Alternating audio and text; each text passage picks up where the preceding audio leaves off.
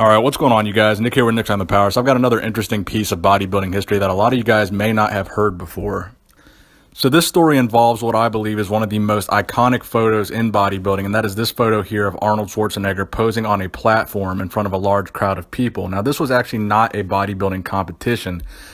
So this photo was taken in 1976 at the Whitney Museum of American Art in New York City. Now, I'm sure many of you may have actually seen this photo, but many of you may not know the story behind it. So what happened here was this was an exhibition held at this museum, the Whitney Museum in 1976. And this exhibition was called Articulate Muscle, the Body as Art. This was a living exhibition. So what this was, was you had Arnold Schwarzenegger, Frank Zane, and Ed Corney in 1976 going to this museum. Um, they would be put up on these rotating circular pedestals um, that would spin around and they would hit poses and hold those poses in a crowd consisting of a panel of prestigious members of the art community and different uh, members of the museum would basically analyze and evaluate these physiques and these poses as being living, breathing artwork. So how did this all come about? So this this actually happened before Pumping Iron came out, but this was towards the end of Arnold Schwarzenegger's reign as Mr. Olympia. So obviously in 1976, um, that would be the year that Franco Columbu actually won the Mr. Olympia competition. And the following year, in 1977, Frank Zane would win the Mr. Olympia. So despite the fact that pumping iron hadn't came out yet and bodybuilding had not yet become mainstream, Arnold Schwarzenegger at this point in time had won six Mr. Olympia competitions, so he was the most well-known bodybuilder on the face of the earth. So a lot of people still knew who he was. So the reason that they did this was George Butler, the producer and director of Pumping Iron, he didn't have enough money to actually finish the production of the movie, so I needed to do some kind of fundraiser to raise the additional money needed to come out with Pumping Iron.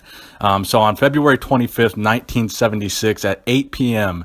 at the Whitney Museum of American Art, they held this uh, living exhibition of bodybuilding where they presented bodybuilding as art. Um, so initially, George Butler only expected maybe a couple hundred people to show up, maybe 300 at the max is what they were planning for. Well, what they didn't expect was that over 5,000 people showed up to come see this exhibit.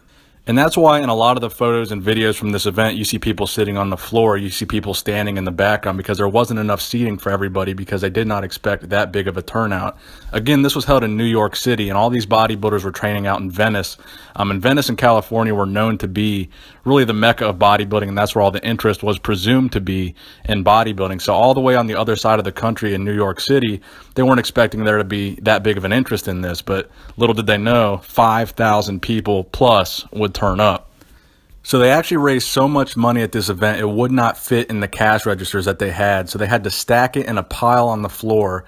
Um, and George Butler says there was a six foot high stack of $5 bills um, from all the entry fees of people coming to see this exhibit. So they made way more money than, than they anticipated. And they ended up making enough money to finish a production of Pumping Iron. So this little museum exhibition that a lot of people didn't know about was really the catalyst for pumping iron becoming what it did because this is what told George Butler and told these bodybuilders okay, the mainstream general public does have interest in this. This is something that they're going to want to see. They're going to want to watch this, and this movie might actually be a success. So this is really what pushed Pumping Iron to the finish line. And obviously, like I said, they had all these art historians and prestigious members of the art community um, speaking and judging on a panel here.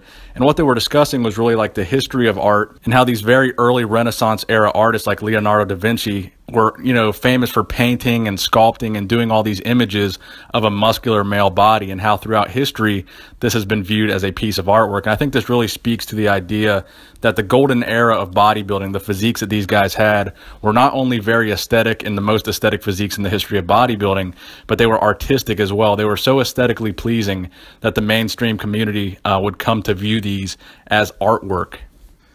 So I thought you guys might enjoy hearing this story because it really is the embodiment of what the golden era was all about, having these artistic physiques, these very artistic poses that we don't see anymore.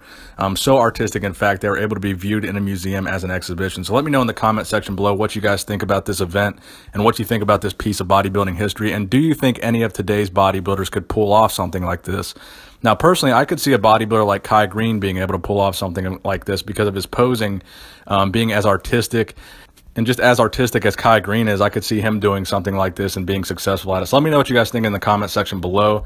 Please give the video a thumbs up if you enjoyed it. Nick Strength and Power, signing out.